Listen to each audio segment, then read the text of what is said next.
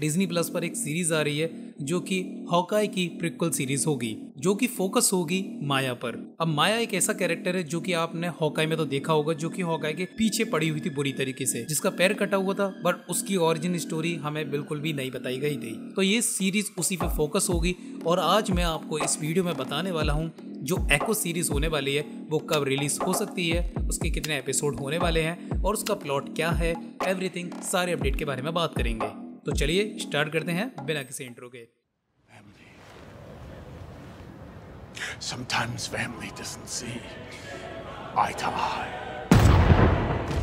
तो सबसे पहले ये एक प्रिक्वल सीरीज़ होने वाली जो कि आप सबको पता ही है और ये सीरीज़ रिलीज़ होगी साल 2023 में और इस सीरीज़ में एपिसोड होने वाले हैं सिक्स जो कि कंफर्म हो चुका है।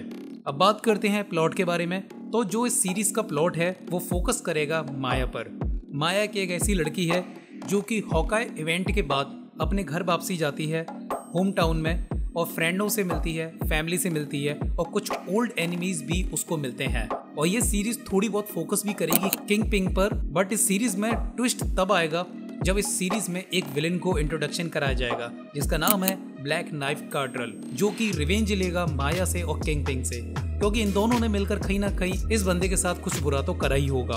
और दोबारा से किंग पिंग और माया रीयूनियन करते हैं, एक साथ मिलते हैं टीम अप करते हैं और उस विलेन से लड़ते हैं। इस सीरीज़ में टोटल छह एपिसोड होने वाले हैं तो सभी जानते हैं कि फिर पूरी सीरीज़ उस चीज़ पर फोकस करेगी। इस सीरीज़ में एक फ्लैशबैक भी हमें दिखाया जाएगा, जो कि एक्सीडेंट दिखाएगा हमें माया की मदर का, और उस कार में माया भी होगी कि कैसे उसका पैर कटा, जैसा कि हमने हॉकाई में देखा था। बट फाइनली ओवरऑल अब आती है एंट्री यहाँ पे डेडेविल की तो चार्ली दोबारा से रिटर्न हो रहे हैं मैड मॉडक ए के यानी कि डेडेविल के लिए। और जो कि छह एपिसोड में से दो एपिसोड में आपको देखने को मिलेंगे। और सबसे बड़ी खास बात, इस सीरीज़ में डेडेविल मदद मांगेगा माया की। और वो कैसी मदद होगी?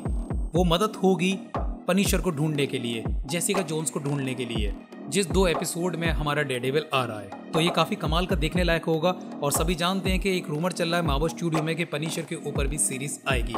और मैं तो चाहता हूँ कि नेटफ्लिक्स पे जो सीरीज़ हैं, उनको भी एक यूनिवर्स का पार्ट बनाया जाए, जिससे कि मावल का यूनिवर्स और ज़्यादा एक्सपेंड हो जाएगा। और वो सारी की सारी सीरीज़ तो ऑलरेडी सुपर हिट है ही है। और फाइनली हमें डेडेविल का इसमें ऑरिजिन सूट देखने को मिलेगा, जो कि हमने नेटफ्लिक्स सीरीज़ में देखा ही है। और फाइनली जॉन इसमें दोबारा से पनीशर के रूप में रिटर्न हो रहे हैं तो ये तो सबको आपको पहले से ही कन्फर्म होगा ही।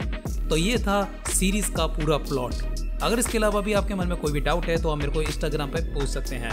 वीडियो पसंद आए तो लाइक करना शेयर करना।